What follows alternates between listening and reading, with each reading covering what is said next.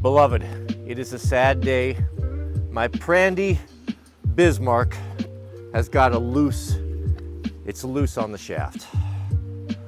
I was wondering in today's video, would it be possible to properly fix this in the field without a bunch of specialty tools in the shop? Let me go through my toolbox and see if we can't make this tip top with what we have on hand. This is what I had on hand to solve the problem. Will we be able to do it? And how convenient that Proho had a four-in-one in his truck. Um, I didn't.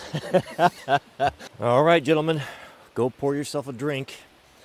We're gonna be here a bit, but I think these conical wedges, it's rare that they come loose, but this was, uh, you know, this was hung in Spain where these new gen snap-on pliers are the business. All right, apply pressure.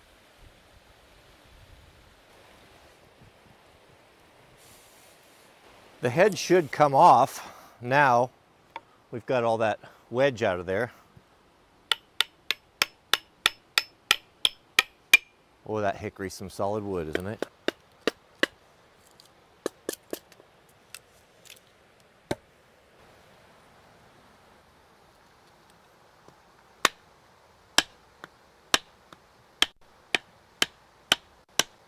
Right there where it's all brown, that's where it's been sliding and rubbing.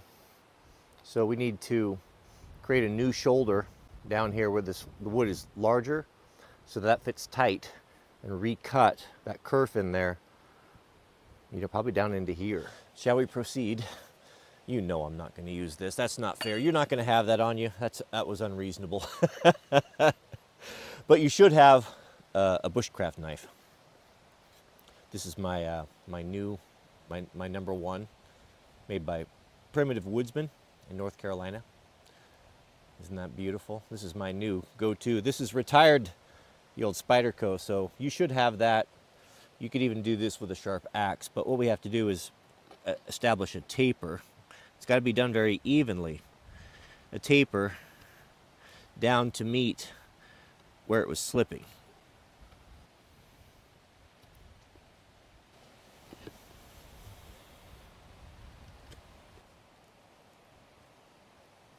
Yeah, there we go.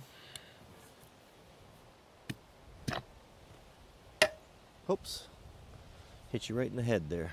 So we're hard up on the shoulder that I carved out. You can see, you know, the fresh wood line there. So we'll take it off and we'll have to cut this kerf down. The kerf is the, is the gap left by a saw. Very carefully, this is a very crude butcher's tool here, but if I'm careful, because it's such high quality, uh, I think I can cut that. Look at the saw. You can see the kerf of the saw blade there. Shall we hang it? You're going to need something heavy to seat this. Uh, if you have another hatchet, something, or if you don't, you'll have to get like a quarter piece of firewood. But I'll just seat it just, you know, quickly. That's already sliding down. So what you want to do, remember you've got iron to wood right here, so you know, be careful, hit straight. I'm not worried about it, this handle's pretty robust. But you drive a handle into a head in all tools this way. It seems counterintuitive, but it, it's the correct way to do it. So you just strike it cleanly and sharply. And listen until you hear kind of the thud sound where it comes up hard on the shoulder.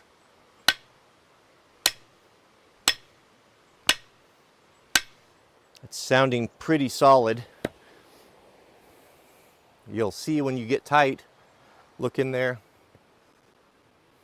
little pieces of hickory squeezing out. You know, that's good. So I'll take my knife,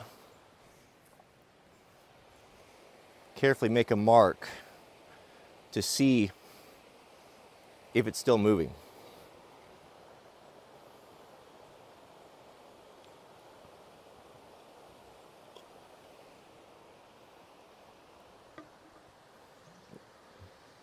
Like that, right there. A little mark there.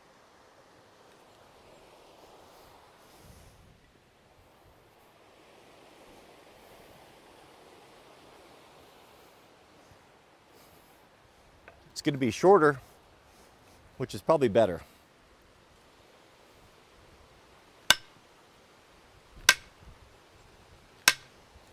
Getting good solid strikes.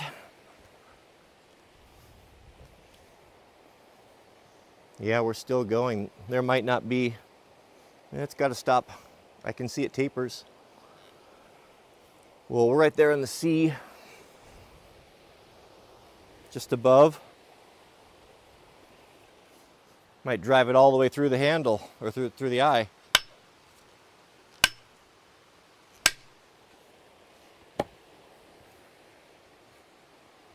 yeah, look at that. Now I'm way past my wedge. I might be making a new handle. You know, it's pretty tight. What would happen, just for fun, since the handle is going to be replaced anyway, what would happen if we, let's say we cut that down right above the, the top, top of that maul and drove in two of those round conical spreaders without a wedge. Do you think it would hold? We'd have a little shorter handle, maul there that I like, but I get used to it. Similar to my axe already, so let's try it. Let's see what happens. All right, look at these bad boys. Two. Now, if you only had the one out in the field, you'd drive one in, but I have two. And I want to use this before I have to make another handle for it. What if we did two of these? That's a lot of spread. It's a lot of material. Let's give it a shot. I finally found the old stiletto, my titanium framer. Best hammer ever. Boy, that's a lot of force there. I think I'll finish off with a seven pound true temper here. There it is. Boy, those are in there for better for worse. Shall we go try it out? What do you say we try it out on a piece of this beautiful red fir? Doug fir, of course, a tree of my people.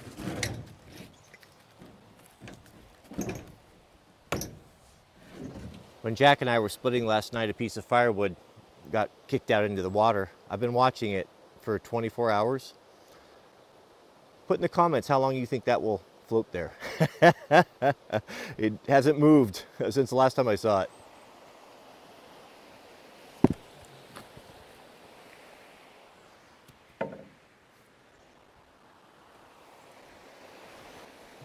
Oh, much shorter.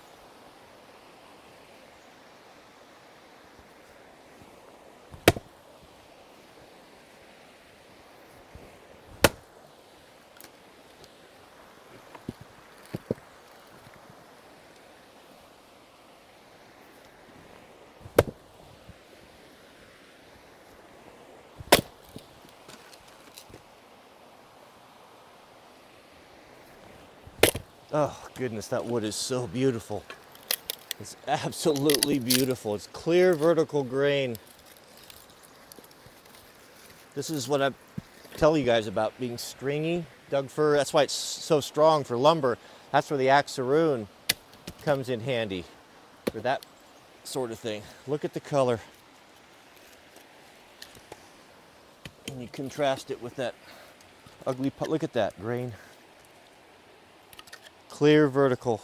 That would be absolutely beautiful finish wood. My goodness. See how the splitting axe does.